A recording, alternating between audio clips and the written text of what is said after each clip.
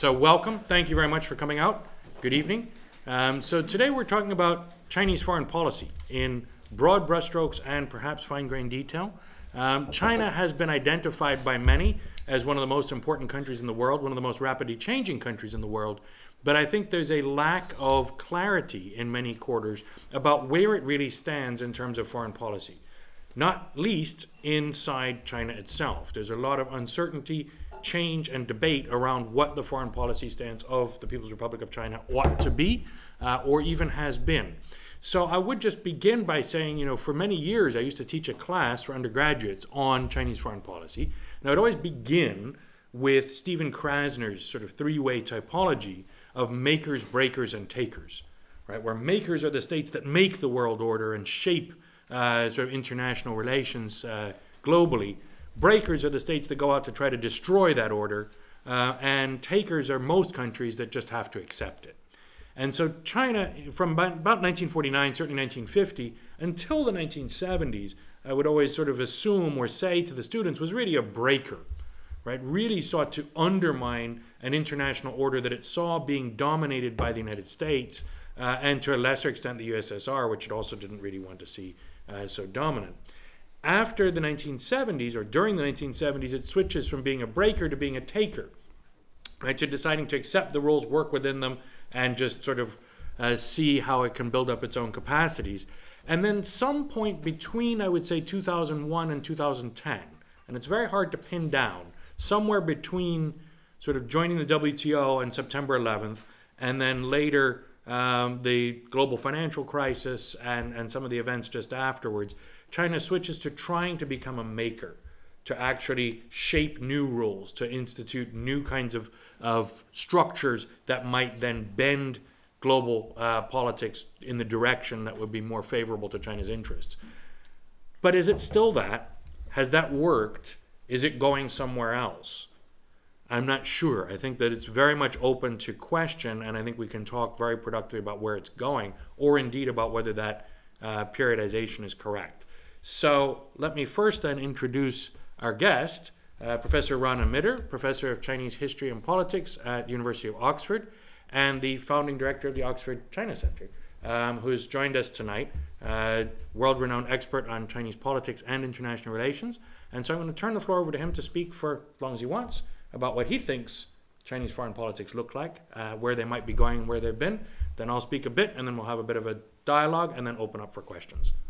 Okay. Thanks very much indeed, uh, Bill. And can I just check that this is all registering fine on the, the mic? Good. We're all, all being heard. Anyway, um, thank you all for being here on what's actually a very nice sunny afternoon. So please go out and enjoy it, but not for the next hour and a half, I think. After that, you're welcome to enjoy the evening sunshine.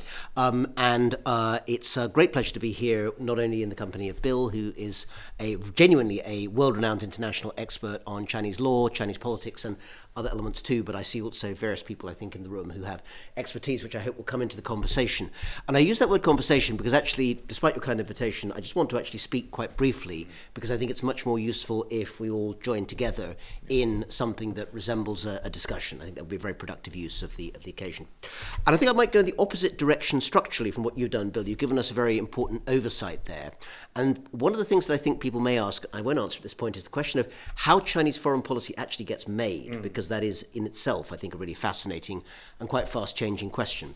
What I'm going to do instead is to give brief reflections, maybe two minutes on each, on three areas, quite different areas, each of which I think illustrates um, a different aspect of that um, maker and taker and breaker uh, triptych that you've mentioned. Some, of course, positive. There are other things, all of which rhyme as well. Faker is one that's come up on some occasions yeah. too, but we could get to the variations, I think, uh, on another occasion.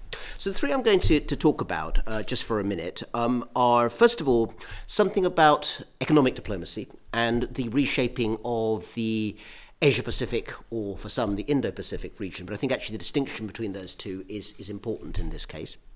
The second one is uh, the UK, because we're sitting in the UK, and I think there'll be a lot of people here who are still interested to know how a country like the UK is, I think, regarded in the uh, Chinese um, framework of international order making and changing. And the third, just because I think we have to mention it, so I don't mention it now, is to say something about Ukraine, because I think that that is clearly one of the foreign policy issues where Chinese attitudes are, you know, very much uh, at the moment under the global microscope, actually. So let me see if I can do each of those in a concise way. And in doing so, I will probably make some broad statements that I'd be delighted if Bill and others here push back against so that we have a uh, proper discussion. Okay, number one, economic diplomacy, I think, is worth mentioning because for two reasons. The first is that it is the aspect of China's international relations which perhaps gets mentioned less than the high geopolitics. It's, it's exciting, if sometimes unnerving, to talk about international treaties and nuclear weapons and all sorts of things which we should be concerned about. But actually, for many, many people around the world, and I think that applies to Latin America and sub Saharan Africa as much as it does to Western Europe or, or the Asia Pacific, it is actually China's economic influence that is probably, at the first instance, the most visible and influential, and probably over time, most long lasting element of their international strategy that I think is, is worth noting. And I will note, of course, that the Belt and Road Initiative, a very inchoate term which includes everything from pre existing projects such as the China Pakistan Economic Corridor, which have been rebranded, and elements which are genuinely new, including, I think, many aspects of the um, outreach to parts of Central Asia that have uh, changed the way that the Chinese foreign policy operates. But in a sense, I think that that can be a bit of a distraction. What I want to really very briefly mention is I think that actually the most important element of China's economic diplomacy, even now, is not its global reach, but its regional reach. Thinking about the Asia Pacific region. And unlike some of the geopolitics that many, if not all of you, will be familiar with, I'm not using the term Indo Pacific here, because actually it's very notable that India, you know, very large and economically growing uh, um, country, has chosen not to take part for the most part, in the growing sense of economic networking that China has pioneered in the Asia Pacific region. And that may or may not be a good idea or a bad idea, we can discuss that, but it's certainly something that sets it slightly separate. So, what I'm talking about here is not so much the BRI as the establishment, for instance, of RCEP, the Regional Common Economic Partnership, officially put into motion about uh, half a year ago, I guess, mid to late 2021. And it's remarkable because within it, are contained a variety of countries that really don't get on very well with each other at all. Uh, China, together with Japan, or China together with Australia. Diplomatic relations, geopolitical connections between the two are really not good at the moment, not least because of defense agreements. Um, in the case of Japan, the uh, Quad agreement, in the case of Australia, AUKUS, which go against Chinese security um, preferences in the, the region. But that hasn't stopped the deepening and integration of trade links between the, uh, between the two. And I think one of the moot questions at the moment is that as one of the other one of those networks, the comprehensive and progressive Trans-Pacific Partnership, CPTPP, has um, begun to come into form. China's application to enter that particular network is clearly trying to fill a hole because CPTPP is, broadly speaking, the only large um, economic network in the Asia Pacific region in which China doesn't currently play a role. And it's notable that having uh, President Trump having pulled the US out of its predecessor, the TPP, in 2017, the Biden administration, within really the last few weeks, let alone days, has started to outline an alternative Pacific economic um, partnership, uh, rather more broad and vague, but certainly trying to fill the gap that was left by the US departure from the economic network diplomacy of the region as opposed to the security architecture. So that's number one. Uh, I think China's economic goals and its regional strategy, and that should be should be borne in mind because it's an, where an awful lot of the economic weight and growth is going to come in the next 10 to 15 years. The second one is the UK the anomalousness, anomalousness, that's a word, um, of the United Kingdom at the moment is something that certainly is a matter of great um, interest, to use the most uh, neutral, genuinely neutral word possible I can, can find, because I don't particularly want to take sides on that question in this discussion. But it's clearly of interest to the European Union, to the United States, and other actors who we see uh, in the newspapers and on uh, TV um, and uh, on, uh, uh, on your news feeds um, on a regular basis. What I think is less noticed is that the anomalousness of the United Kingdom is currently, I think, of significant interest to China. Because if you define the UK in abstract terms, as opposed to the country we all live in, stay in, and, and know, I think, pretty well, it's an oddity. Uh, right now, it is a major, you know, it's still one of the five or six biggest economies in the world, a major economic player. It's broadly a liberal state. It may not always look that way when you see some members of the government, but broadly speaking, in global comparison, the UK is a, a highly liberal state, highly open in terms of its economy, highly liberal in terms of its values, certainly compared to most places on earth. Yet it is not a member of its major local economic network, the European Union, because, and I hope this doesn't come as a shock to anyone here, we left it a couple of years ago. That is a country in which China has a great interest because, as we know, China has a great interest in linking for economic and strategic reasons and finding leverage where it can with the European Union and European countries that are not in the European Union. Ukraine, if I might flash ahead for a moment, being a good example.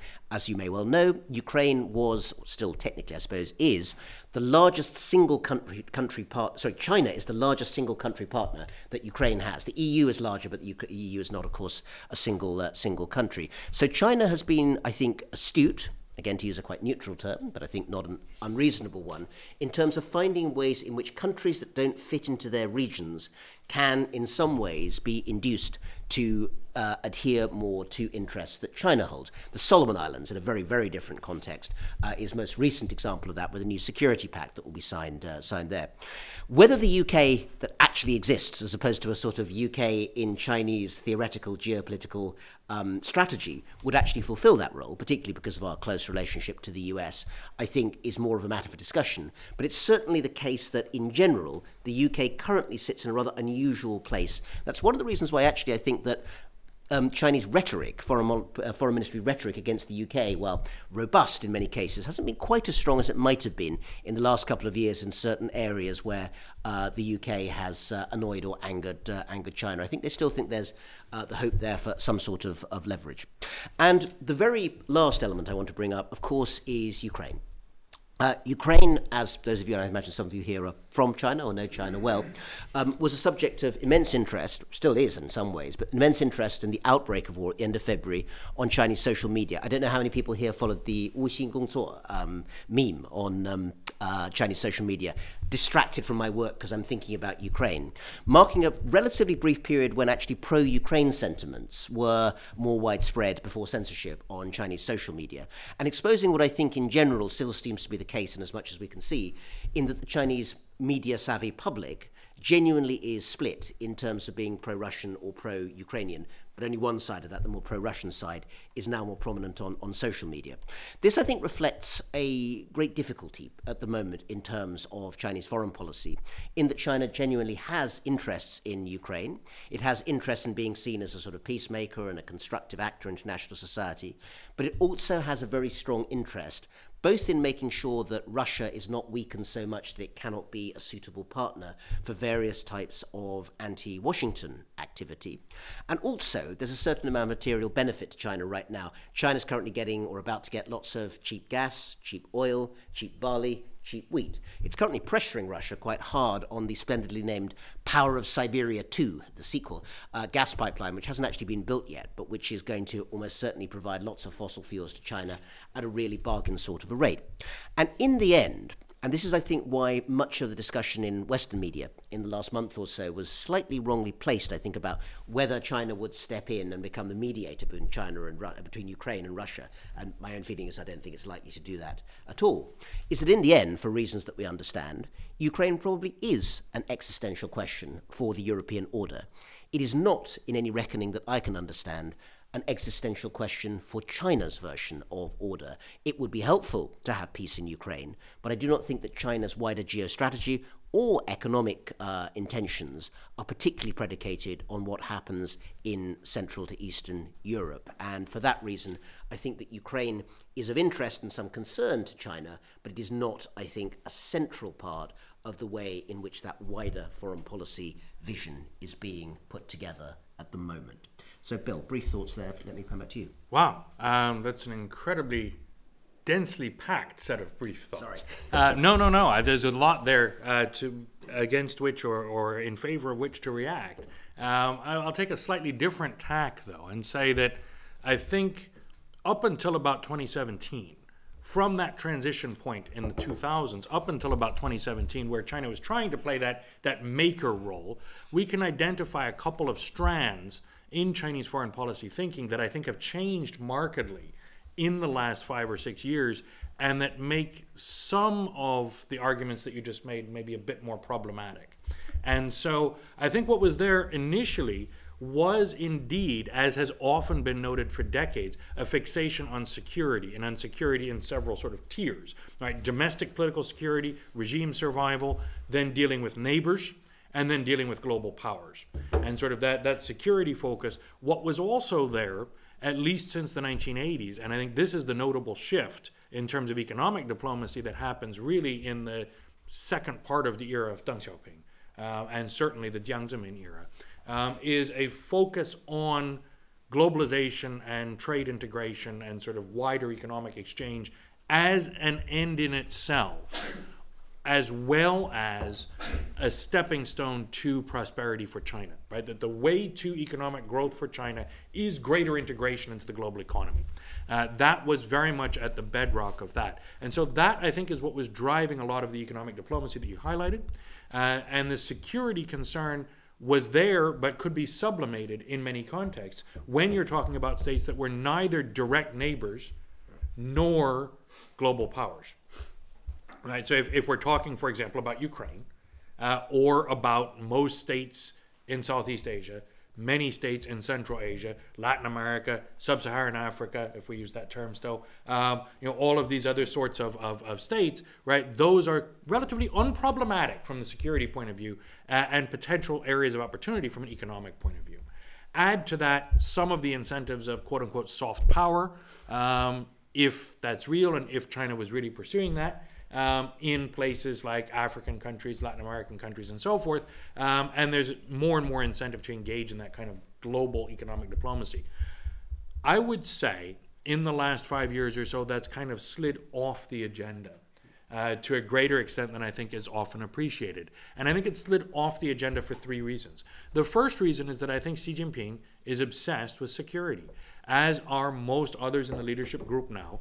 And those who had prioritized global integration economically and economic growth generally have taken a back seat. Right? If we look inside the establishment within China that makes foreign policy, organizations like the Ministry of Commerce, the Ministry of Foreign Affairs, um, you know, the Ministry of Finance, all of these are taking more and more of a, a secondary role, whereas the Ministry of State Security, as well as uh, the PLA, have really stepped up. If we look at the organization of the leading groups that relate to foreign policy, which is again Xi Jinping's kind of favorite thing to create these leading groups, all of which he's the chair of, of course. Um, those that are more security dominant and security focused are playing a much stronger leading role than those that are economic. The third point on uh, the second point, rather, on economic diplomacy uh, or e- economic prioritization that I would make is that um, I think that the overall exercise of outreach uh, in terms of economic relations that China has been pursuing has been increasingly concentrated on what's been always referred to as one belt, one road. I can never remember even which is the belt, which is the road. I think the belt technically is the maritime uh, road, or that's the road, the road the maritime one, and actually. the belt is the over, which is counterintuitive. yeah, yeah. yeah. Um, but yeah, which is Itailu, but one road should be over land. But yeah, anyway, it's uh, this idea of sort of reaching out to Central Asia and Southeast Asia with economic ties and assistance in order to forge better relations, exercise soft power, etc., cetera, cetera. I don't think so. I don't think it's really working that way. I think it's a very convenient political moniker to hang on projects that were going to go on, go forward anyway, or that powerful economic and political interests within China would like to go forward, right? So if we look at the politics and political economy of investment, and particularly investment by state owned enterprises and large state backed funds within China, that investment is too high and too inefficient and has been so for decades. Out, you know, taking that investment overseas, letting it go out, the so called going out strategy, going to higher risk uh, environments where you might earn a higher reward, or moving money out of China for purposes of round tripping bring it back in as foreign investment, which then gets tax breaks, or to a third country just to park it somewhere, maybe to buy real estate in London, maybe to do something else like this, maybe to invest in equities overseas, whatever it could be, right? Doing that is very difficult and has been very difficult within uh, the Chinese legal apparatus for years and years and years. One Belt, One Road makes it easy. If you can say this is a One Belt, One Road project, done, approved. You move the money right out, do whatever you're going to do with it. And I think that there's a high percentage, I wouldn't say the majority, I have no idea, there's no way to trace it, but a significant and high, maybe growing percentage of One Belt, One Road projects that have nothing to do with the infrastructure uh, investment that the state headlines. Um, also, much of that infrastructure investment has not worked very well. Uh, hasn't really paid off, hasn't been completed, even in places like Pakistan. Some of the seaport developments, for example, in Balochistan and elsewhere, have not actually been finished. Uh, they've been sort of abandoned halfway through, uh, sputtered out uh, more than halfway through. The much vaunted railway all the way across Asia is not economically viable, loses tremendous amount of money. Um, lots of projects in Southeast Asia have been canceled. Uh, a number of Southeast Asian countries, after political changes within those countries, have decided we don't want this. We're going to go with, say, Japan to build the railway instead, uh, or Singapore to build the mass transit system, or whatever it might be. Um, in part because they're wary of Chinese investment coming in, in part because they think they can get a, a better deal for a better um, product from some other country or provider. Um, and sometimes those political changes that underlie that change are, in fact, a direct reaction, at least in part, against China's involvement in these projects, right? There's a political mobilization against China in some of these countries that leads to political shifts. For example, um, in elections, uh, in which another party comes to power that says, you know what, we don't want this.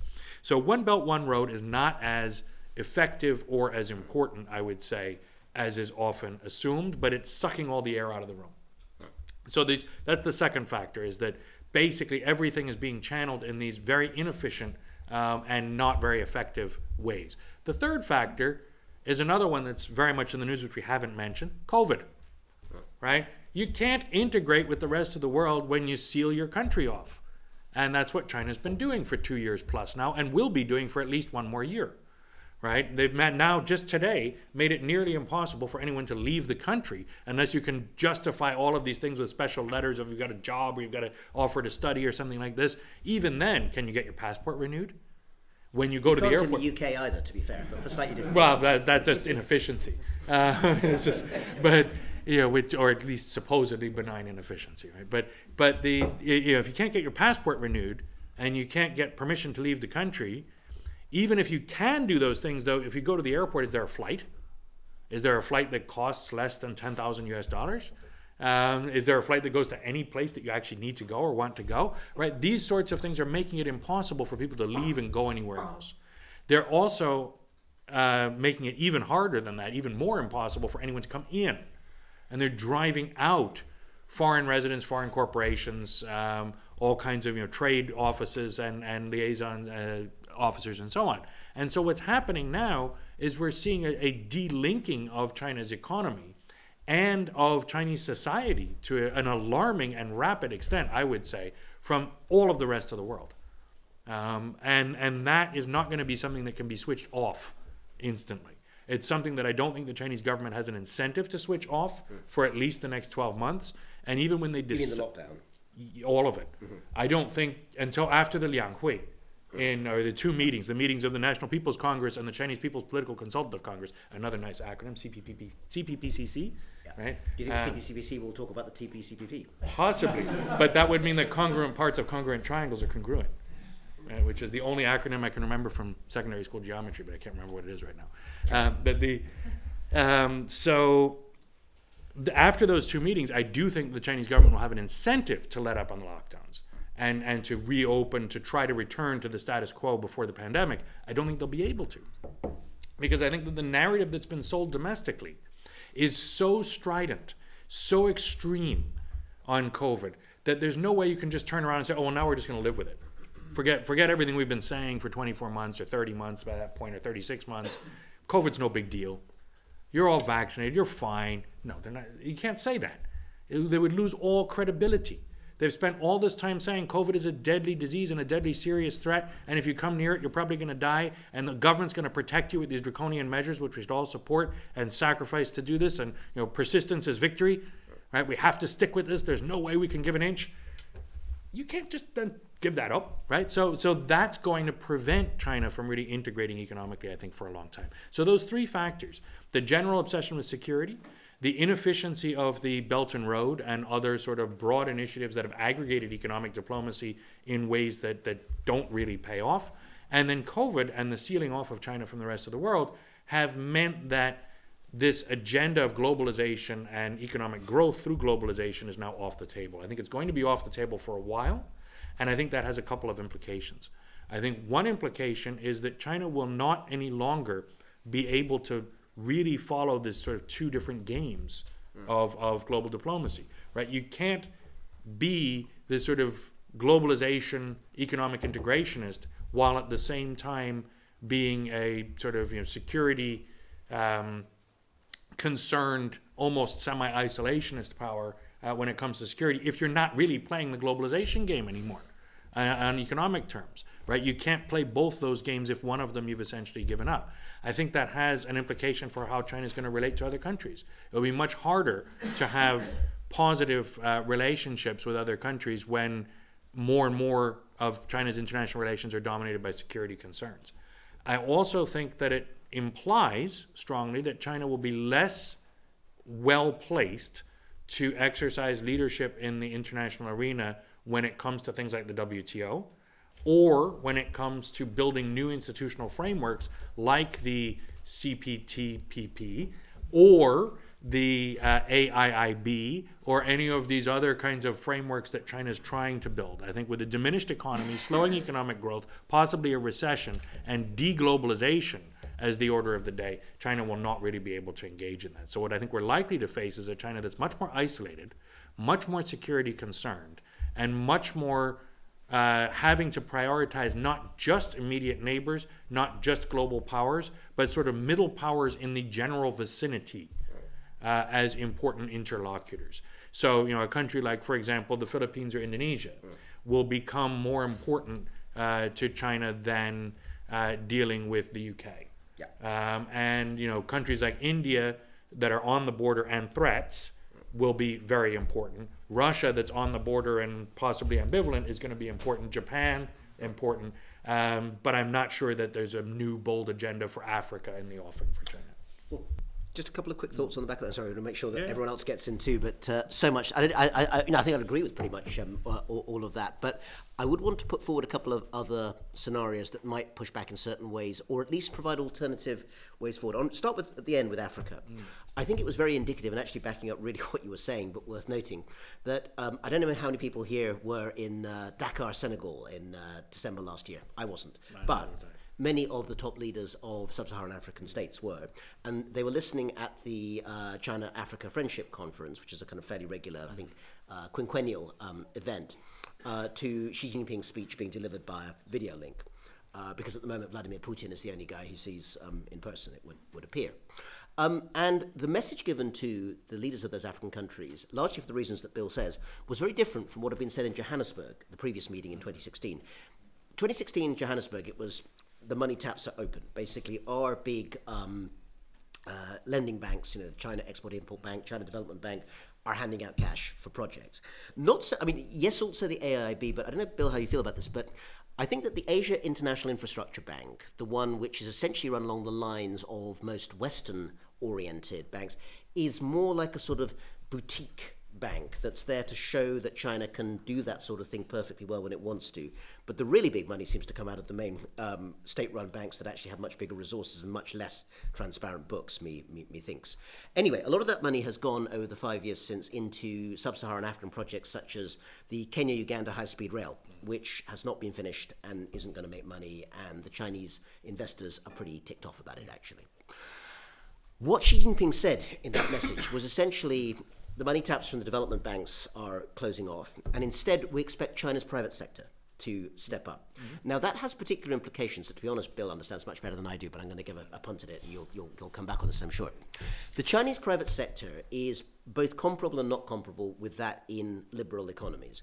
On the one hand, and the thing that people tend to, to know is that it is much more heavily influenced by the state, and that's certainly true about you know, Belt and Road Initiative uh, investments and so forth. But people tend to forget sometimes it is still a genuine private sector. you have share prices, you have stock markets, you have investors. And even in China, which has obviously huge amounts of state control, it is not possible for the state simply to tell the private sector what to do, particularly when the private sector is expected to make money.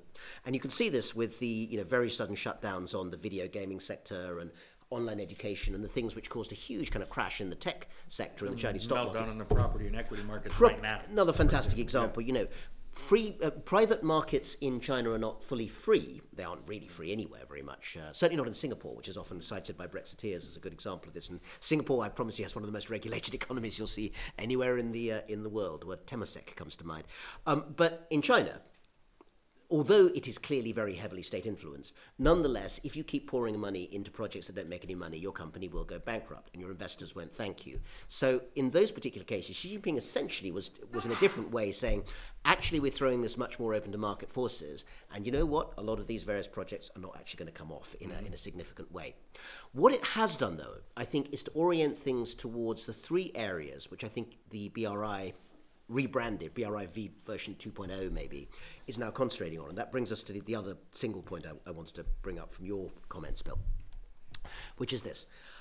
Really, it seems to be concentrating much more on green growth, in other words, the export of technologies that will, that will provide much more renewable energy. So, you know, this is actually something that, in terms of net zero, is, is very important. We've almost all forgotten about COP26, even though it was only six months ago, but actually it was a pretty big deal, and it will be again. So there's concentration on that area, and China, of course, for various reasons, currently has a pretty strong near monopoly in a whole variety of technologies that have to do with renewable energies. That's number one. Number two is um, the um, digital Silk Road. Uh, we haven't heard much actually about China's 5G capacity capacity in the last year as opposed to 2020 when we heard about nothing but. But actually, it's still there, still being rolled out. Um, last time I looked, three or four months ago, the president of Argentina was doing a big handshake with um, uh, a senior Chinese uh, leader, not Xi Jinping, um, to uh, talk about the way in which uh, I think Huawei is going to tool up the Argentinian 5G um, uh, network. And it's not the only example of, of, that. And the last one links in with vaccines. Uh, essentially, it's about vaccine development. Now, the problem with that so far has been that to say something that everyone knows. The old style Chinese anti COVID vaccines, which are like, you know, the, the, the, ones that are not mRNA in the Western world, so AstraZeneca is the best example, are not that effective. They're not actually as effective as the best Western ones, so AstraZeneca is a lot more effective than Sinovac. But it's okay, but not that, that great. This has caused part of the problem, though. The mass vaccination in China has had two flaws A, that the vaccine itself isn't very good, and B, that um, uh, lots of older people, for reasons I still haven't quite worked out, have been entitled to refuse. Uh, no one's been compelled to take the vaccine. right, because China never compels anyone to do anything. Austria obviously. can compel people to take the vaccine. I don't know. Yeah, Austria, they're like kind of grabbing people in the street in Vienna and kind of stabbing Civil them. Civil liberties are alive and well in China. They are, yeah. China, well, China's obviously much more concerned about people's yeah. personal liberties when it comes to vaccines. Uh, either that, or we know they've been watching a lot of Tucker Carlson on Fox News, so you know that could. Uh, Russia and China's favorite American broadcaster is all we can, uh, all we can, all we can say. Russia, anyway, China. One thing, I did a little check uh, just beforehand, is that I know it's been coming and coming and coming like Christmas for a long time, but China's development of mRNA vaccines does seem to now be entering um, test phase as, of April this year. If there are Chinese mRNA vaccines that really work well, then A, I think that that will provide possibly the exit narrative uh, in terms of, okay, we're going to really re inject people with vaccines that work and by the way, old people, welcome. You're coming into this van. You're not coming out until we've we've we've, in, we've injected you. So if any old people in China are worried about this now, I'd, I'd get out of the way at, at, at this point. But a mass vaccination domestically of large amounts of the population, whatever, over 75, 80%, with an effective vaccine does make a difference. And it also makes a difference to some of the vaccine hubs that China has been setting up in, I'm thinking off the top of my head, UAE, Algeria. Um, you know, Algeria, I think in particular, is currently becoming a hub for Chinese, for Chinese pharma, if I understand correctly. Anyway, any Algerians in the audience, please feel free to, to correct me. Indonesia has a major. Indonesia. So, you know, in other words, there's a network there that could work for that next phase of the narrative. Let me add one more factor just to make everyone really kind of, you know, sit up this uh, on this sunny May evening. Everyone in the world is now beginning to wonder who is going to be president of the United States on the whatever 18th of January 2025. And that discussion is certainly, I, am not in those rooms, but I will bet you that there is lots of discussion about that in Beijing. Mm-hmm in think tanks and in the foreign ministry. Because if, as is perfectly plausible, either Donald Trump or a highly isolationist Republican of some variety, of whom there are several in the running, does decide to take, or does take up office at that stage and essentially decides to reorient US foreign policy, you wouldn't need a complete reversion to Trump version 1.0. You wouldn't need to sort of have a, you know, reversal from the, the current not quite the TPP that's being put forward um, by, by the Biden administration. But you would get an awful lot of things that would change quite fast. And I think if we want to look at one pivot point, if you can think of Chinese foreign policy in the mid 2020s as being shaped A, by vaccine success, both domestically and internationally, that changes that COVID narrative, if it chooses to do so, and B, a presidency of the United States that leads to a more isolationist international outlook, I think that that makes a big difference in terms of what happens about mm. three or four years from now. Wow. Okay, let me just respond very, very quickly, okay. and then we'll open it up, yeah, yeah, yeah. if that's so. Unless you no, no, want no, to respond to the response. I'll, I'll but the first on Africa, I think that that you know I've thought for a long time that there are really three different ways in which China is approaching African countries when it comes to economic diplomacy. Right, one is development aid to old friends right? So long-standing friends of China that are sort of African socialist countries, thinking particularly of Tanzania, but but many other countries, Zambia, Mozambique, some other countries, Zimbabwe, uh, Zimbabwe as well, yes. Um, although it's more complex in Zambia and Zimbabwe for other reasons, but. Um, countries that have long-standing good relations with China uh, and are seen by the Chinese government as sort of friendly in political terms uh, receive development assistance uh, for healthcare, for transportation, for education, for various kinds of other things, right? Um, then you have resource uh, extractive industries going into places where other countries don't necessarily want to go, right? So places like dangerous areas uh, where it's dangerous to operate uh, in Sudan or in Nigeria, right? Where European or American companies don't want to be because it's too costly or too dangerous Chinese companies that are locked out of the easier, less dangerous places, right, because they've all been already taken up by, by the other major companies, uh, go into those places in order to seek those resources, right? So we see this sort of natural resource uh, investment in, in places like that, also in places like Zambia, um, to get at, for example, copper um, or other key resources in Angola, uh, in Sudan, and a number of countries, right? Uh, and then we see this sort of private sector uh, development where it's about textile companies or it's about construction companies bidding because they can actually submit a competitive bid and win business there that will make the money.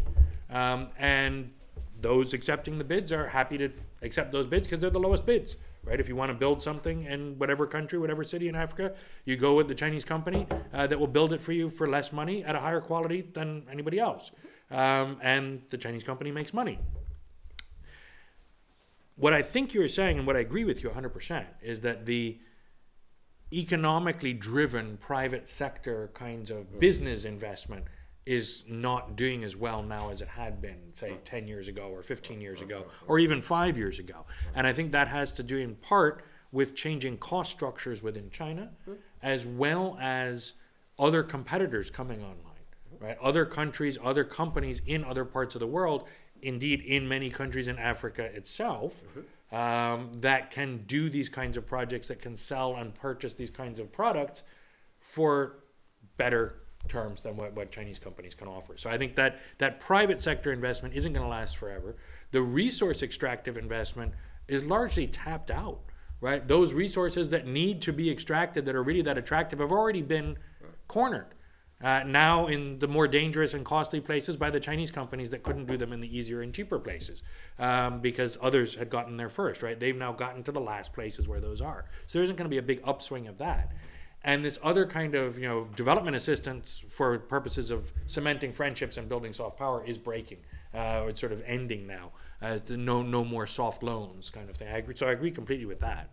Um, on the point of uh, vaccines and vaccine development, I think that what's interesting about that narrative, why couldn't China have just imported mRNA vaccines or any other vaccines or sought to license them? Right? That was never on the table. Yeah, well, yes, but for this national humiliation. but only in the eyes of the state, right? Because that's pretty much what every other country did. So it, it would be perhaps more expedient to do that. So I don't think it's just about vaccines, and I don't think changing vaccines will do that immediately, uh, or, or new vaccine development in China will, will roll out that fast. And I do think it will require compelling old people to get the vaccine, which for whatever reason, is very controversial. Compelling whole housing blocks of people to move to quarantine camps because somebody down the road was positive last week, that's okay. But compelling, you know, auntie whoever who lives upstairs to actually go out and get the jab, no, that's not okay. So I mean, there there is this interesting mentality around that. I think it will take a big shift. I don't think it'll happen quickly. Can you a one-line historical uh, one that just came to me on the back of that? That sounds absolutely right. For those who know China's uh, the history of China during World War II, a long time ago, the Kuomintang nationalist government of Chiang Kai-shek, which uh, then ran uh, ran China, in its temporary wartime capital of Chongqing. Uh, was so worried about infections that it basically had people, mostly women actually, standing on street corners, and they would just grab people in the street and inject them right there, whether they wished to be injected or, or not, which um, at least reduced um, cholera rates, I believe, at that, that time. Yeah, uh, I'm not sure if that would increase or decrease trust in the CCP, though. Uh, if you're to do something like that, I mean, I I think that's why they're not compelling people because there there is a calculation being made, I think, that doing that would actually decrease public trust, and that somehow draconian non-pharmaceutical interventions increase public trust. It's it's odd to me. I don't quite understand the logic, but I think that has to be the calculus. Okay. But the last thing I was going to say very quickly is if the U.S. government changes, uh, and we see the U.S. suddenly becoming essentially a breaker of its own its own institutions that it made, um, how would that change the calculus for China? It would have to, but I don't think it's that predictable. I don't think it's just instantly going to put China in a stronger position or a weaker position. I don't think it makes the world simpler for China. I think it makes the world harder to navigate. Um, I think that there are all kinds of questions that would have to be opened again um, in China that now are sort of either settled or pushed to one side because, well, we can't deal with that because the U.S. is there doing this. Um, if suddenly the U.S. changes behavior radically, as we saw indeed with the first Trump administration, uh, when Trump came in, there were many people in China in the foreign policy establishment who saw this as a huge opportunity.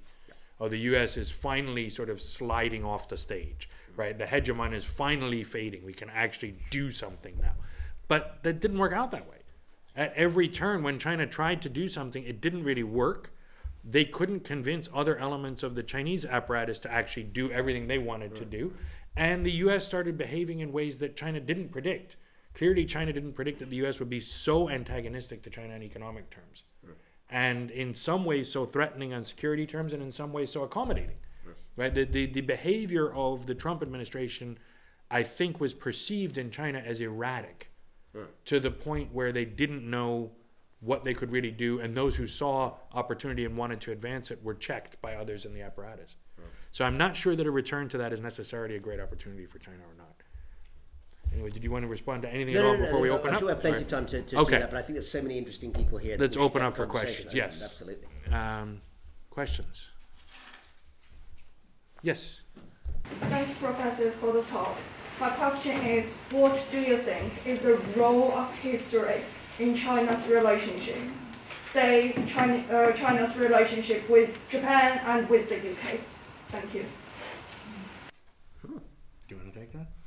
Sure, absolutely. Um, the question, I'm sure everyone heard it, but just in case, what's the role of history in China's relationship, in particular with Japan and with uh, the United Kingdom? So, two slightly different uh, sets of relationships, but both very shaped by history. And I'm biased, not least as a historian, but I do think that actually, for China, maybe more than many other major countries, um, the understanding of how perceptions of history have shaped the way that contemporary foreign policy takes place um, is really very, very notable. Um, in the case of Japan, I think that there is, um, I mean, you- one has to sort of note that obviously the Second World War period is immensely important in terms of the way in which the relationship has been shaped in the post war period.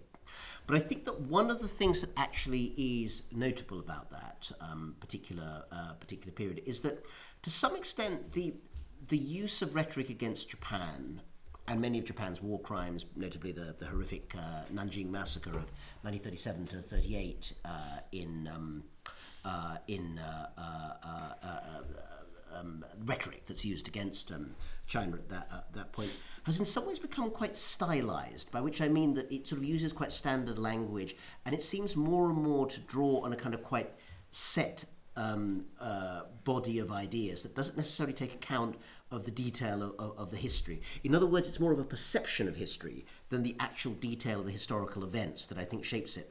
I felt for a very long time, indeed wrote a book about it uh, called China's Good War, that the most important thing that China's wartime history really does in the present day is not tell us that much about China's relationship with Japan, but more about China's relationship with itself. Mm. Because if you think about something like, uh, how many people here have seen um, the movie that was uh, biggest hit in China, indeed probably in the world, in 2020, the pandemic year, the movie Babai, the 800? Anyone seen that? No, heard about I, it, didn't see it. Okay, oh, it's well worth seeing in, the, in, the, in that uh, in that case. It basically concerns a small group, not in fact 800, spoiler alert, but about 400 um, Chinese soldiers who are based on a real life incident uh, in World War II, who are backed up in a warehouse in Shanghai. They're fighting the Japanese who are invading the city of Shanghai, and they fight bravely. But you know, eventually they have to have to give up the give up the fight. It has a lot of resonances with um, the uh, Azovstal and the fighters in Ukraine at the moment, actually, as, as it as it happens. Although I'm sure the Russians wouldn't like to be compared to the Japanese in that case, but that's the nearest comparison I can I can think of. Anyway, why did I bring that up? Because that movie, again, you might know, in the year 2019, when it was about to be released to the Shanghai International Film Festival, was suddenly pulled from all cinemas in China. And this wasn't some kind of little dissident movie. This was one of China's uh, you know biggest IMAX movies. It was made by uh, Guan Hu. Um, it was going to be you know a kind of big box office film, and it was pulled basically because it was felt by various people connected to the CCP that in the 70th anniversary year of the Chinese Communist Power, uh, sorry, the, the founding of the PRC, you could not release a major motion picture that celebrated the achievement of anti-Japanese soldiers who were nationalist, mm. Kuomintang. There's not any CCP communist Balujun 8th Route Army soldier anywhere in the movie. It's entirely about Kuomintang soldiers. And you can even see the kind of 12 pointed star flag of the Kuomintang China in the movie at the at the end. Actually, that's the, it got censored out in, in, in the end. So the movie was banned for a year. Then it was released in China in 2020 because that was the 75th anniversary of the defeat of Japan. It was VJ Day plus 75. So that was okay, or just about okay. It was still controversial. And it turned out that when the movie was released, Um, 300 million, it made 300 million US dollars at the Chinese box office. A lot of people wanted to see that movie. It still had a resonance in a very different China, ruled by the CCP for more than 70 years, where people live a you know middle class consumer lifestyle in cities like Shanghai and Beijing. They have no experience of war. If they know anything about World War II, it's from now very elderly grandparents. But they still wanted to see it. And for me, it was much more interesting about what that still says about the kind of very tortuous history with the Kuomintang past than actually anything very much about the Japanese, who are in the movie, of course, as the enemy, but are just there as slightly cartoon villains and don't really say very much there, uh, there, there, there at all. So I think that, and added to which, of course, every time a big Japanese manga movie is actually allowed past the censors into China, it's you know huge numbers of people go and go go and go and see it. And there are large numbers of people particularly in Shanghai middle class Chinese who really admire Japan. They go on vacation there all the time. They think that Japan is a wonderful modern country. So the kind of state discourse of hatred is not necessarily something that they that they share. In the case of the UK I think that history can be brought up quite instrumentally. So I'm thinking that when he was Foreign Secretary, the current Prime Minister Boris Johnson made a statement at about 2017 that when a new warship was built, you know, Britain wanted to send that into the Pacific. And the next day, the Huanqiu Shibao, the Global Times, you know, big nationalist paper in, in China, wrote about how Boris Johnson was trying to start the new opium war and that this would not be you know, not be tolerated. And this is a reference that, you know, as you probably know, doesn't make it doesn't really have much resonance to most ordinary British people today. I mean, obviously, if you're you know a bit about Asian history, you would know about it. But you can get some you know really well-educated people who know a lot about World War II in Europe or about, you know, even the Russian Revolution maybe. But the Opium War is not a phrase that really has any resonance for them. So this was something that was much more meaningful in the in the, the Chinese propaganda mind than it was actually in terms of starting a real debate with Britain. But that said, I think the things that uh, China is really interested in to do with Britain are its tech capacity, its world-class higher education system. We're sitting here in Cambridge University. I think it's a very good example of, uh, of that. Its financial sector, you know, its place uh, a place for uh, offshore renminbi trading, and also actually its new relationship with the U.S. on security matters. So I think the history side shapes the way that China likes to frame a lot of the conversation with the UK, but the history is not really what China is most interested in. It's much more interested in the specific advantages that the UK has now, which might be of benefit to China in the future. Wow. I, I wouldn't add much to that. That was a, a fantastic answer. The only thing I would say is that I think history, in order for history to be important in international relations, you have to perceive what happened. You have to be, be cognizant of it, right? And, and not let you know Germany walk through the Netherlands and Belgium a second time, uh, as, as did happen in, in the Second World War. Uh, but then the, the other thing is, uh, you know, once you've perceived it, it can be ma- it's, it's very malleable. You can use it in all kinds of different ways, which is I think what you were alluding to. Well, I was going to ask actually, since I, I mean, I don't know if our, our, our question is actually from China herself, but what, what's your own answer to your own question, which is a very interesting question. Yes, sorry, it's good to hear. Yeah, yeah. What's your own answer to your question? Of course, history plays, uh, based on my understanding of the general public opinion on the Chinese relationship with Japan, I think it plays a role, a significant role. Uh, uh, the role is, um, I think it even goes beyond the current economic situation. Uh, But do you think it's a, do you think it's the dominant role, or do you think in the end questions of geopolitics and economics will matter more? I mean, do you think when you know China is thinking about its whole relationship with Japan, the history and the war is the only thing that matters? When things go well, the economic status plays a dominant role. When things go wrong, historical historical uh, element plays a key role. Well, in, indeed, that's what I was trying to allude to. Yeah, you yeah. can you can manipulate history not just in terms of how you spin it, but which parts of history you, you choose to emphasize. Right. So if you're sitting in China and you want to say something good about Japan, you can talk about the 1970s and 1980s, especially, right, where Japan became China's biggest trading partner. There were very positive relations. Uh, there were all kinds of cultural exchanges, educational exchanges, and so forth, right? And and you can just not talk so much about the Second World War, or you could indeed talk about the 19 teens and 20s.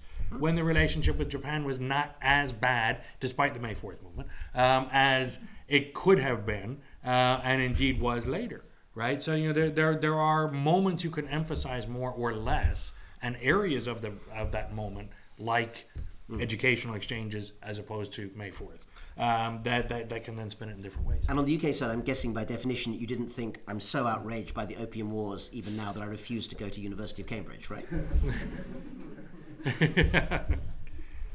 Yes. Given that China seemed to be doing quite well a decade ago in terms of integrating and uh, doing very well from an economic uh, side of things, why do you think there was a shift towards security? Presumably this happened prior to the Trump administration and the antagonism, but surely shifting towards security is only going to make the rest of the world a bit more cautious and make, uh, make it more difficult for the Chinese foreign policy to actually engage with other countries. So, so why now? Why, why this shift towards PLA, building up a navy, getting the aircraft carriers? What, so, So I'll, I'll take That's that you- first, then you you, can respond. Yeah, no, Uh, some some of that had been in train for quite some time, right? So some of that's been going on since the 1990s, even, um, and you know begins to come online later or or to take shape in a stronger way later. What I think happens uh, around 2010 through 2014, let's say, in that window, is two things. First of all, some of the biggest proponents of economic development and economic integration um, sort of become very self satisfied. Uh, there's a lot of talk after the financial crisis that, ah, see, the United States and Europe, they're, they've really gone down now. Their, their hegemony is over. The, the economic field is open for the taking, right? And now is China's opportunity, and we don't have to worry about sort of concerted building of economic policy and economic diplomacy the same way anymore. Um, that played into the hands of those who wanted to emphasize securities. They said, see, we don't really have to worry about that. We can deprioritize that to some degree. The second thing that happens, though, there's three things actually that happen. The second thing that happens, China's own economy starts to really slow down and really encounter some major structural problems by that point, right? So I think we'd like to say that the you know global economic crisis of 2008-9 didn't really affect China, right? The only major country that didn't have a recession, that this massive stimulus program actually helped and, and avoided the worst effects of the crisis. Well, maybe. But if we look at the overall underlying political economic model that fostered double digit economic growth year in, year out, from about 1994 until about 2008, it was based very, very strongly on export processing manufacturing. Export processing manufacturing of low and moderate value added products, right? So things that are not at the high end of the, of the technology scale, at the high end of value added uh, scale. So that model runs its course and ends essentially with the global economic crisis. Exports of those sorts of products collapsed. They never really recovered. Employment in the export processing manufacturing zones cratered, right? All of these major problems. And so the only thing that kept the economy afloat, in some ways, one could argue after that, is continued injections of, of government funds uh, and asset proper asset price bubble uh, in property uh, that really starts to inflate after that point, right? So the Chinese economy itself is a lot weaker after about 2010 than it was before, right? So you get the economic proponents sort of scaling down their rhetoric, Chinese economy weakening, uh, and then the third thing is change in leadership, right? So the new leadership that comes in, not just Xi Jinping himself, but the whole leadership group that comes in uh, after the 18th Party Congress in the autumn of 2012 is much more security oriented and much less committed to the whole agenda of globalization than even the Hu Wen leadership had been, and a completely night and day difference from the Jiang Zemin, uh, Zhu Rongji leadership that had been there in the late 1990s to early 2000s, right? So that that evolution of thinking within the leadership um, by replacing the top leaders, plus the weakening of the Chinese economy, plus this sort of diminished rhetoric from, from the economic hawks, leads to China emphasizing security over economy, I would say, at that time. The other thing that starts to happen is parts of the world that China very, is very concerned about become more dangerous from China's point of view. Um, but I don't want to go on and on and on talking about it. But I think th- those things happening um, do push the shift towards security. And once you get into that, it's very hard to break out of. The only things, I mean, that sounds absolutely right to, me. The only two things I'd add one is that I think I'd push a bit harder actually on the idea that, at least in the, in the mind, I think of Chinese communist leaders, economics and security are intertwined concepts. Mm. I mean, the idea that you either globalize and become sort of economically open and or um, have some kind of securitized um, way of you know be like North Korea or something. I think is, is, is, is adapted to basically the belief that you must actually use globalize, globalization to securitize yourself. Yeah. So an example of what I mean by by that, which actually fits with this, is. Um, one of the things, I mean, I've you know, written about a little bit very briefly myself, but I think people who are much more informed on this than me would say that one of the areas that might be of concern in the medium term to China uh, as a result of the Ukraine war uh, is to be able to pressure a weaker and more isolated Russia into getting China more rights within the Arctic Council, mm-hmm. which is the body, the multi-nation body, which you know, essentially uh, sits on the question of who has rights to you know, use land, territory, and so forth. And it's becoming more of an issue as the waters become more passable there, uh, certainly in summer and maybe in future in winter as well. China is desperately worried, and this is an economics and security question, about the fact that so much of its supplies, including energy supplies, come through the Straits of Malacca, which they fear would be very easy to cut off if you had a hostile coalition against you. And having alternative yeah. waterways, I mean, this is partly behind the Solomon Islands Pact as well, mm-hmm. is actually a, a good example, I think, of the way in which you create networks that both create new sorts of economic possibilities, so the relationship with Russia uh, related to fossil fuels, for instance, but also security possibilities that enable you to maximize your options and also find ways to find a new presence in relatively ungoverned spaces. Uh, mm-hmm. Uh, the Indian Ocean, I yeah. think. You know, we talked about you talked about the PLA Navy in your question. So one of the reasons that China, I think, is keen to try and make sure that it has more of a presence in the Indian Ocean is that the competition is less. The Atlantic is even now, I think, mostly out of court on the grounds that I think that even now the Chinese would find it maybe a step too far to send PLA Navy vessels in off the coast of Massachusetts, or you think maybe maybe not? Just a quick comment on the Indian Ocean before we talk about the North Atlantic. Okay, well, uh, let, let, let, me finish the, sure. the, comment on that, then why don't you pick up pick, pick, pick that up straight away? Um, it's not that, of course, in any genuine sense there is no presence in the Indian Ocean, but in terms of how the security architecture there is worked out, it's still much more um, malleable, it seems to me, than either the Pacific or the Atlantic, where the security architecture has been essentially set for quite some time. But sorry, Bill, you want to.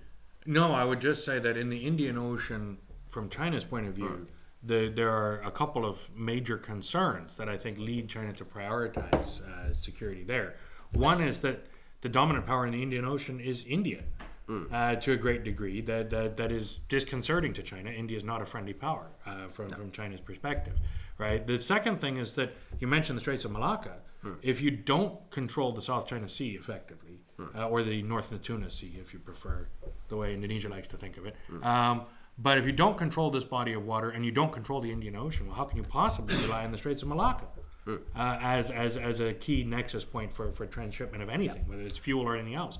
So if, if you're going to assert the nine dash line uh, and try to back that up with real force, uh, and you don't go into the Indian Ocean at all, that's almost not worth it. You, of course, want some uh, guarantee that the Indian Ocean will be open to you, even if you're not seeking to dominate there. You certainly don't want India slash UK US dominating the Yeah, Indian Ocean. Which is why also you might use your position as a very good customer and um, military partner for Russia to start really pushing hard on the idea while Russia's under pressure elsewhere that it shouldn't be selling quite so many arms to India, India, which of course yeah. currently has something like 50% of its um, armaments actually supplied by Russia. And that, Only fifty percent. It's been it's it's been reducing steadily over the last couple of decades, and I think France and Israel are two of the countries, as well as to some extent the UK, that are trying to, to fill that gap. But right now, one of many reasons why India is not speaking up very much about Ukraine is that it's not in a good position to basically uh, annoy the Russians, and the Russians also actually want to keep India on side because it's a useful, Yeah. you know, uh, honest broker in a sense. Well, and vis-a-vis China, if we go all the way back, Yeah. Right to the 1960s and 70s, it was very useful for Russia to have good relations with India because they had leverage against China this way as well. So, oh, now we got Lots and lots of questions, so I don't even know who's next. Let's see. Let's go to the back over there. You, yes. Um, so you talked about how China's reacted in the past when there was kind of shifts towards a decline of hege- hegemony of the US. I was wondering, how do you think if suddenly, obviously this is very hypothetical, the US would cease to be a hegemon and China was now the sole hegemon, how do you think the international order would change? Would it change at all? Do you think that it has a very different conception of an international order if China were to construct it? Um, do you want me to have this? You can if you like, or I can go either way. You go first. Okay, so I, I think China's fundamental belief is that there will not be a single hegemon. That the U.S. is not an effective hegemon, that it's fading even as a weak one, um, that there's no single country that can be a global hegemon.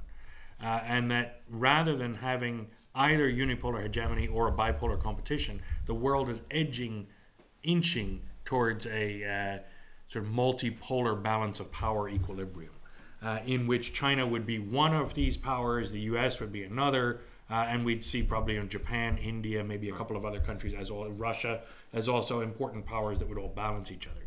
I think that's fundamentally different from the thinking in the U.S. and in many other countries, and I think most of the thinking in the U.K. as well, uh, which says that a multipolar world is inherently unstable and dangerous, uh, and that we're likely to be back at sort of 1914 uh, if we're thinking about multipolarity. And what we really need to be thinking about is either unipolar hegemony of the US or some other guarantor of global security, or a bipolar competition, a la the Cold War, that is tense and nasty but stable relatively and, and predictable. So if, it, if it's going to be the US and China as sort of US and USSR version 2, that's okay. But it's not okay to have this kind of multipolar world. I don't think anyone would say that China is going to be the new global hegemon. Uh, and if it were, I don't think it would know what to do because it's not planning to be that. Right? China doesn't believe that it could ever be that and, and isn't seeking that, in my view. Yeah, I think that that's exactly right. Um, wh- one of the, I mean, th- there are actually quite a few of the wiser voices in think tanks in Beijing and international relations departments who are actually speaking, quite frankly, um, about what they see as a sort of overreach in some of the political classes, where they actually do hear people asking exactly that question. It's a perfectly good question because plenty of people in China ask it. Supposing China really Yeah. was, you know, the single hegemon, what could we do then? Uh, and these, I think, slightly older, slightly wiser voices saying, look, you know, this isn't going to happen. The United States may be weaker than it was. It's not going away, and it still has tremendous military, economic, and in fact, still uh, convening power as well. There are still an awful lot more places in the world that will take a call from Washington D.C. than there are from Beijing, at least when it comes to uh, security security matters. But that having been said, just as a thought experiment, the question of what it would look like, I think, is interesting and worthwhile. Not least because actually there are also plenty of people in China who spend their time thinking about exactly this question.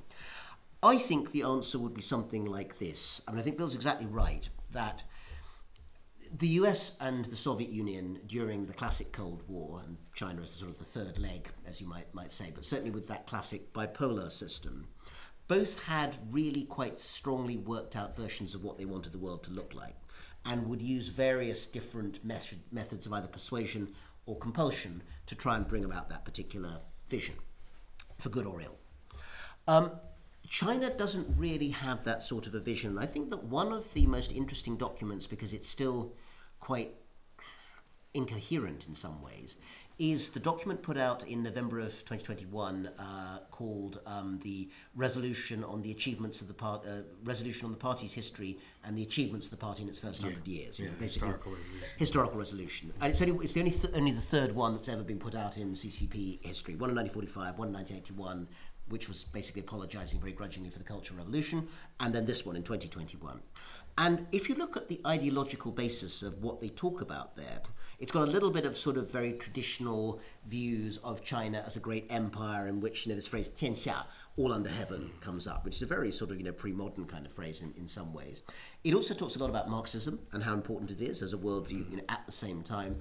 And it also has a really revealing sentence where it says, I can't remember the exact phrasing, but you know, the, the original Chinese has lots of fei and things in it, which is China is not a country that simply takes what it um, uh, what it thinks about from the Western world, nor is it a country that simply relies on China's own traditions, nor is it a country that simply follows a Marxist path. And it tells you a lot about what China isn't, according to the think tankers in the CCP in the party school, who are the people who actually wrote this this this document. It doesn't tell you very much about what it is, and I think that's because that's a work in progress. And right now, I think that the answer, if it suddenly you know you clicked your fingers and that your scenario happened tomorrow morning, which obviously wouldn't wouldn't, wouldn't happen, is that China would be you know very concerned to make sure it keeps ideological dominance at home as it has now. It will be quite keen to make sure that countries in its immediate periphery think as well of China as as possible. But beyond that, I think actually it really doesn't have a very strong interest in maintaining any particular system of government as long as whatever system of government there is is reasonably amenable to China's overall geostrategic and economic aims. So mm-hmm. when Myanmar was a deeply flawed but at least you know kind of demonstrable democracy of sorts until February of last year, China was perfectly happy to kind of you know deal with its elites and work out how it could you know work out with them. I was When- even more happy when it was a military regime. I think it's probably happy with the military regime because they know all the people Yeah. in it and they can hang out with And them. before, But- and now I'm not sure because it's not as stable. But the, Well, and now there's a civil war. Well, again, it's yeah. the Ukraine situation. Oh God, what's going to happen to our investments? Is, Mm-hmm. is one key key question. Because if I'm if I'm right, and you, yeah, you know, the, the, the investment side of what China was doing is, is very important to them. But there was no. I mean, I don't have any sense whatsoever that China's presence in Myanmar was a primary factor in undermining the flawed democracy of that time. That was an internal coup by the the uh, the Tatmadaw, the, uh, the the regime, who decided that was what they wanted to uh, to to do.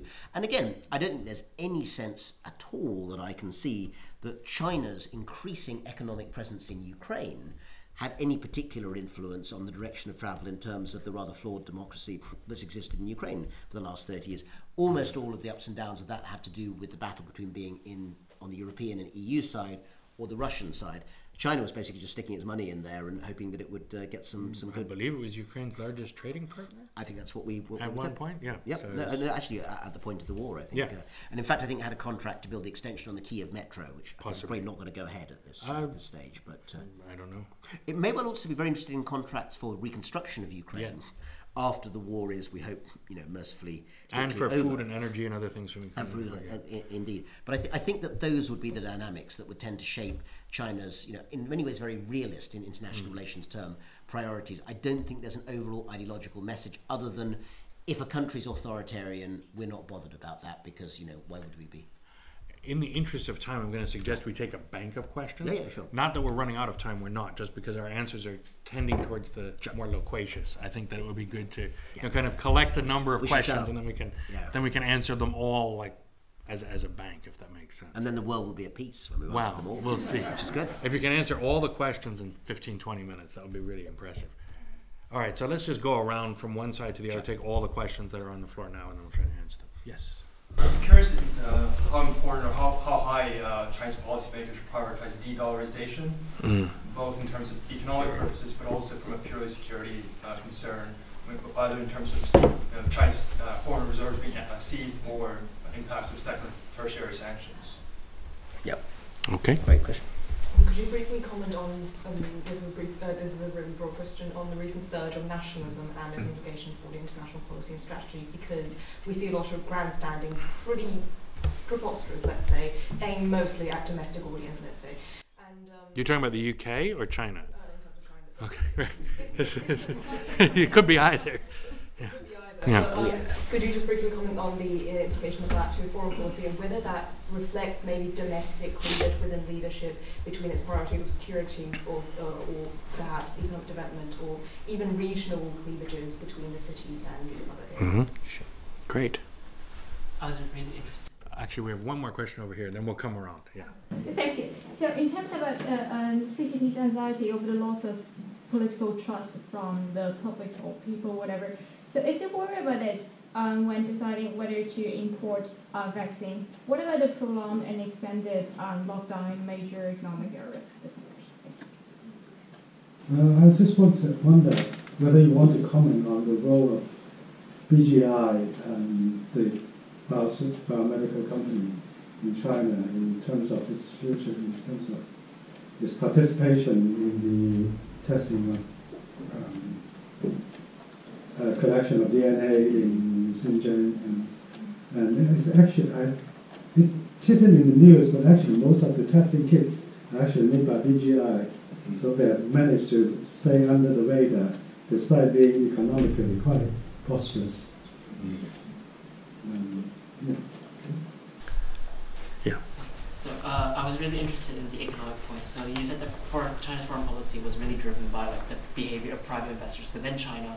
But what about immigrants from China and the people of Chinese ethnicity in say like Southeast Asian countries like Thailand and Malaysia who hold like immense economic interests within these countries. So how does the presence or the power of a Chinese immigrant population in the Asia Pacific region affect China's foreign policy? Great. Jamal. Um, with an increasingly confident Japan, um, particularly its proposal of a rules-based order in the Indo-Pacific sort of as a counterbalance, I guess, to China, led presumably in part by Japan, and also its Hmm. um, uh, outspokenness about the Taiwan issue. Um, how do you envision that affecting the security dynamics of the Asia-Pacific region in general, and specifically in relation to how, how do you think China may react to that? Right. Great. Um, could you talk about where uh, Taiwan fits into Mm. um, that picture that you painted, Rana, of uh, geo- uh, China's current geopolitics? Um, yeah, I just wanted to ask about because you talked about China's foreign policy as being something of like a retreat from globalization, but is there any sense in which China could be seen to have been forced into a corner with the fact that, say, um, Western governments have been like sanctioning Chinese companies like Mhm. Huawei, um, the fact that when China tries to pursue economic relations through like the Belt Road Initiative, it's denounced as like modern day imperialism. Is there a sense where China, instead of being selfish, is more just sort of realizing what is the point of globalization in today's political order? Great. Wow. Okay. Yeah. I don't know if I can remember all these questions. Yeah, can you bring- remember them all? I can remember some of them. So we're Yeah, saying I can people remember feel some. that they've then been maybe cruelly, cruelly ignored. Perhaps, perhaps we. we've got two more coming to the floor. So Okay, we well, take add, those add two. those and in then- too, and then we'll try and. all right. come back Yeah.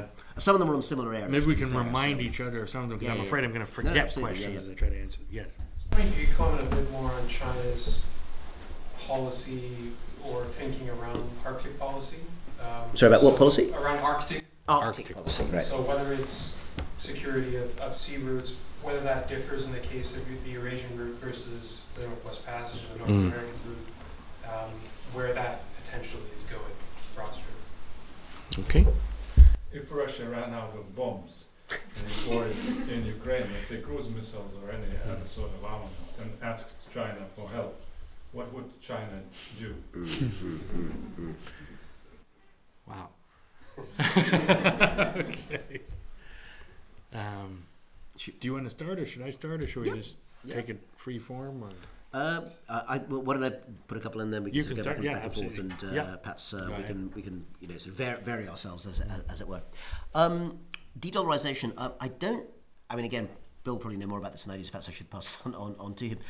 I think it's one of those things that China aspires to, but it's a bit like you know the famous Saint Augustine uh, uh, phrase that gets used in various other different contexts, which is "Lord, please make me chaste, but not yet." The problem about China wanting the renminbi to become an internationally tradable currency is that it involves essentially opening capital accounts and allowing very, very free flows of capital, which is exactly the opposite to the direction that it's taken uh, in the last few uh, few years. I sort of think that the, the, the monetary order, the international financial order that China would really like to get back, is the one that much of the world had probably about 1973, when sort of the old Gold standard? no, not gold. Gold standard, 1973. You were kidding. Okay. That's about 1933. Uh, no, no, no. Post Bretton Woods, you know, when Nixon yeah. basically released the US from the snake and all of that. But there was still an awful lot of restriction on um, free flow of currencies. I mean, you, Mm. don't, you will not remember, but um, if you grew up in the UK until 1979, for good or ill, when Margaret Thatcher came in, um, individuals going on vacation were only allowed to take £50 out of the country. Now, £50 in 1979 was a lot more than it is now, but you would get these ads saying things like, you know, your £50 will go further in Portugal or Yugoslavia or various other countries that were very keen to get um, British tourists and their, their drinking habits uh, into their uh, uh, in, into their borders. And then, of course, all that changed changed utterly. Um, because it's clear that although China would like the renminbi to be international currency, it's not prepared, St. Augustine style, to make itself chaste, which would involve the capacity for international markets genuinely to bring very large sums of money in and out of China at very short notice. Uh, without government interference, for the most part, it would involve people being convinced that the legal system in China was independent enough that if there were disputes or issues, that there would be some independent method of arbitration. Uh, for good or ill, I think that uh, you know, for the moment, the United States is still considered just about to be in that that situ- situation. Uh, also, the fact that people, again, for good or ill, believe that at some significant level, the Federal Reserve is independent of what the president says. Um, I don't think anyone thinks, however distinguished the governor of the People's Bank of China is, that if Xi Jinping gave him a call, he wouldn't, you know, basically listen quite hard to what he had to say. Whereas Fed chairmen have generally taken something of delight in having U.S. presidents saying you should do X and Y, and them saying, you know, basically, nope, we're going to do something else. Paul Volcker being, I think, the, the classic example of uh, of that. Greenspan to some extent uh, uh, uh, as well. Opposite direction of policy. Yeah, well, quite. There is um, a whole variety of excited chatter, which I'm not remotely expert enough to comment on, to do with digital yuan, uh, to do with whether or not various types of cryptocurrency might be the way in which China chooses to provide alternative methods. Um, I think that if you want to put your money in some of those instruments, then please go ahead, but don't expect to see it again anytime very, uh, very soon. So I think I think the likelihood of the di- of the um, di- uh, displacement of the dollar as you know the kind of the global uh, numeraire is extremely low. Slightly different from that, and actually one of the effects possibly of the Ukraine war is that I wouldn't bet against a significant expansion of what it's called CBOPS, which is um, China's version of SWIFT, the International Bank Transfer Mhm. System. And China is very, very concerned to try and make sure that um, it doesn't get caught in sanctions that are currently catching Russia very badly on that. But that's a related but slightly different uh, different question. I might just add one more thing there and then hand to, hand to Bill, which is put the Taiwan-Japan questions together, perhaps. I think Japan is extreme. I mean, it's Mime's question. I think extremely interested, not only in creating a variety of economic and security structures in the Asia-Pacific region that will push back against Chinese presence, but it's being much more active than it has been for a generation in doing so. Um, I think the fact that it's it's welcome. Japan has been one of the countries that's been having the most significant sets of conversations with Brexit Britain about all of this, but they don't tend to get noticed so much because the fire and fury around the conversations with Europe have tended to uh, to, to, to, to hide that. Um, Japan was the driving power behind TPP. When Trump nixed that, they were the driving power behind re, uh, reintroducing um, uh, CPTPP.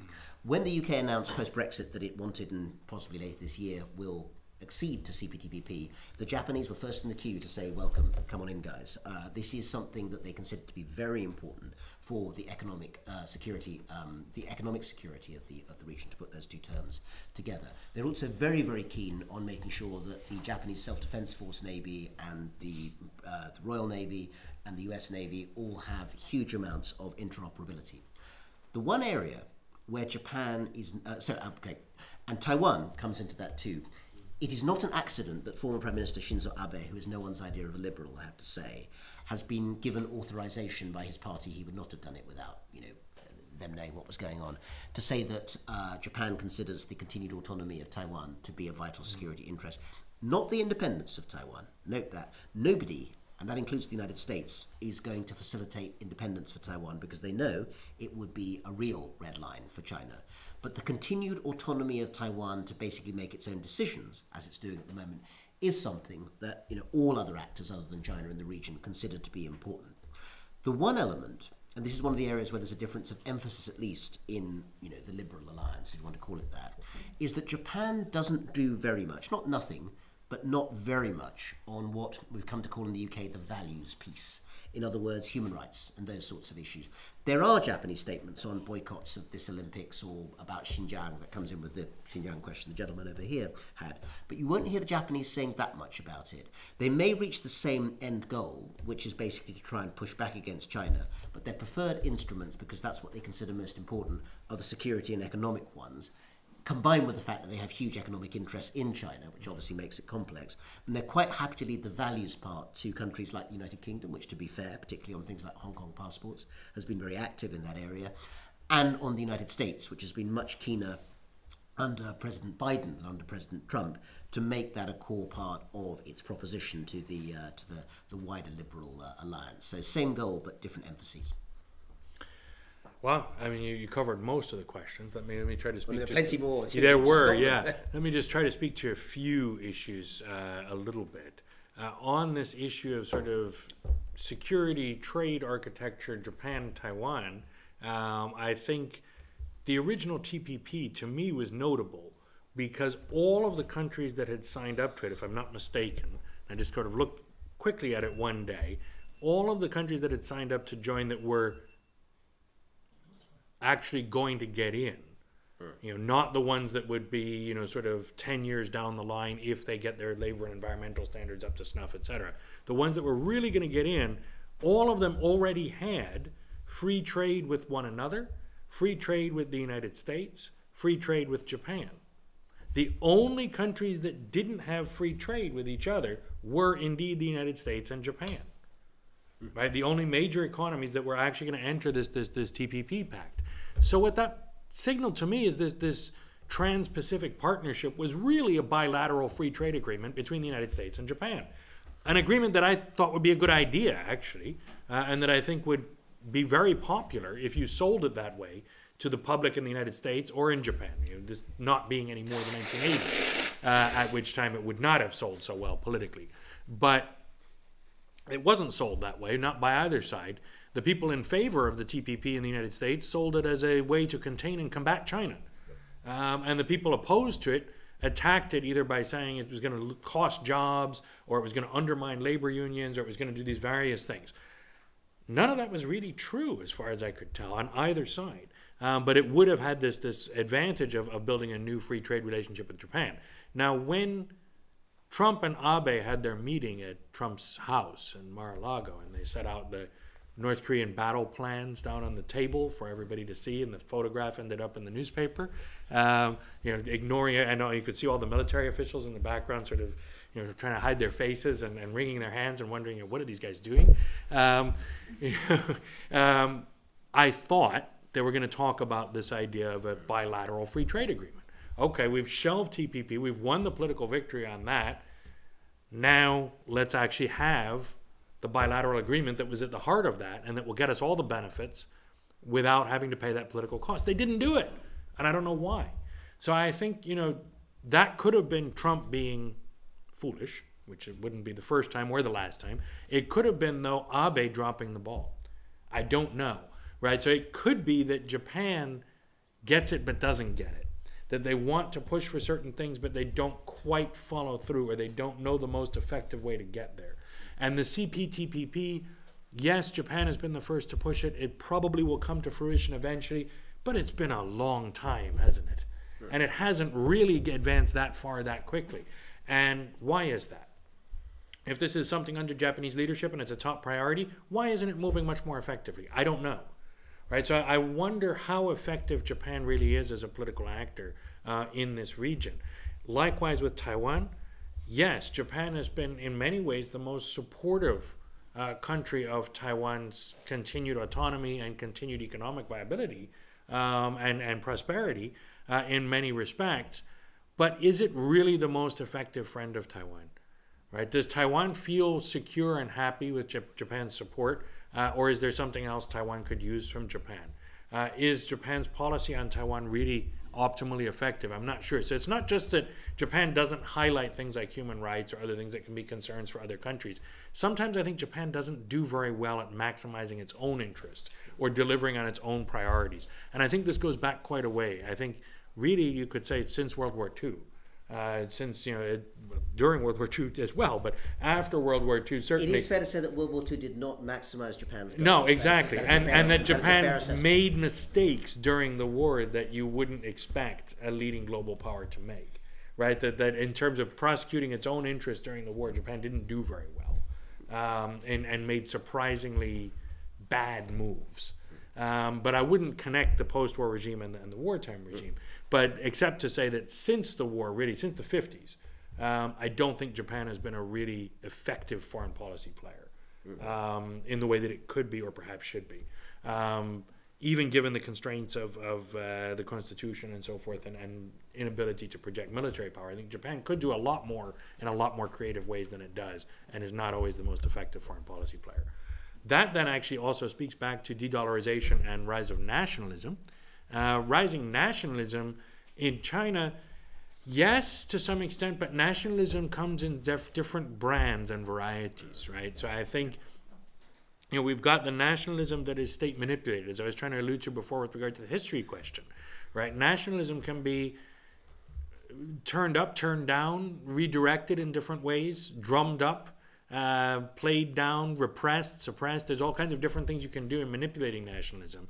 Um, but then there's also a nationalism that isn't state controlled or state manipulated, that is more organic and can sometimes actually be threatening to the state, right? So a lot of people, notably Pete Gries at the University of Manchester, uh, wrote now at the University of Manchester, then at the University of Colorado, wrote very nicely about the 1999 protests uh, against uh, the bombing of the Chinese embassy in Yugoslavia by the United States, and in many ways against what China's response was, or China's lack of response from the perspective of more nationalist protesters, right? And the, the, the nationalism of the protesters was actually threatening to Jiang Zemin and to the state. So nationalism is, is a difficult thing to control completely uh, and can actually threaten the state. But I think one of the things we see happening in the current era is that the Chinese leadership is taking a much more active and proactive role towards trying to control and manipulate nationalism in particular directions. Whether those will be the directions that they want to stick with, though, like with COVID, once you've gone down the road a certain way, it's very hard to suddenly walk it back or to suddenly say, well, we don't want that kind of nationalism. We want this over here, right? We don't want full lockdown. We want vaccination. It, doesn't turn on and off that quickly. Yes? Can I quickly ask a Sure. really quick follow-up Mm. As in the surplus of angry young men? Mm, maybe, but I think more more than that, more than gender politics specifically, I think it's more about age politics in that we have you know too many young people who can't get jobs. Right? We've got the upside down uh, demographic pyramid in, in China with too many old people, not enough young people, because they stuck with a family planning policy for 30 years too long. Uh, that they should have dropped circa 1990 uh, if they wanted to actually have a, a, a balanced and productive uh, result of that.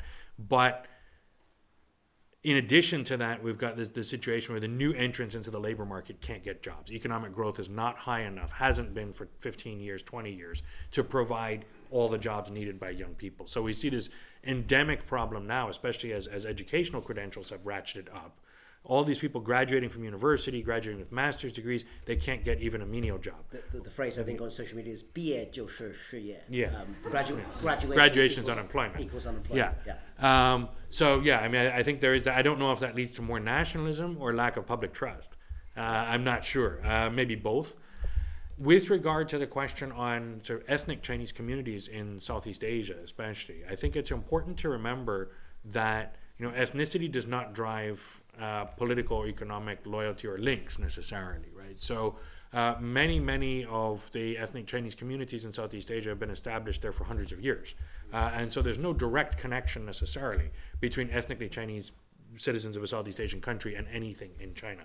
Uh, and not necessarily between them and any place in the mainland of China. It could be to Taiwan or to other, other areas in sort of greater China. What I would say on this is that there has been some scholarship, notably uh, Wang Yuhua at Harvard, uh, who have talked about way recently, and others in the past, who've talked about ways that uh, ethnically Chinese communities in Southeast Asia and more further afield uh, have been able to access areas of the Chinese economy more effectively uh, or more smoothly than other overseas or foreign investors. Um, and have been able basically to circumvent inefficient or um, malfunctioning aspects of the legal system uh, in order to safeguard investments. I'm not sure how much I believe that, to be completely honest. Um, I, I, think that that may be overplaying uh, this this uh, card a bit. Um, I think where it really comes into play is more in the domestic politics of certain countries in Southeast Asia, where increasing trade with China, increasing economic links, uh, motivates in some cases a very dangerous current of anti-Chinese uh, ethno-nationalism. Um, and and sometimes worse, sometimes violence, pogroms, etc., against ethnically Chinese residents and, and citizens of those countries. Um, that we've seen happen in several countries in Southeast Asia in the recent past, as well as in the more distant past. I worry uh, that increasing ties with China may motivate such things in the future uh, to an even greater degree. So rather than being something that binds those countries or those populations closer to China, I think it may be something that actually creates more problems um, than anything else. Speak very quickly to de-dollarization in the Arctic, uh, and then I realize we're over time, so I'll give you a chance to respond if you want at the end.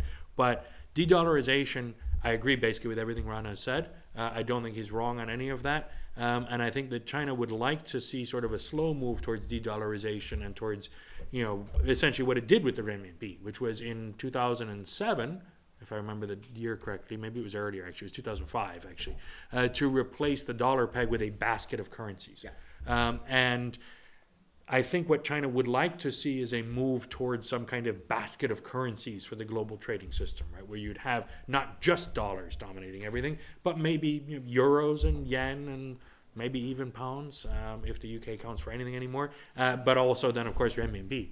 Um, now, that agenda, I think, had been moving along from about 2005, 2007 ish up until about 2014 15. I think it really went askew at the point where asset price bubbles within China became the primary concern of economic policymakers. So we see in 2014, 2015, the first signs of real crisis and collapse in the real estate bubble, as well as the near collapse of the stock market bubble in 2015. And that, I think, led to, to a fear over that, that that said, okay, let, let's prevent the capital account from opening right? Because prior to that, there had been moves in the Shanghai Free Trade Area, for example, to try to open up the capital account and allow currency to move more freely in and out, to be more more openly traded, to widen the trading band of the renminbi against that basket of currencies. But I think that's stopped. So I think for right now, we're kind of back to where we were 15, 20 years ago when it comes to de-dollarization as an agenda item,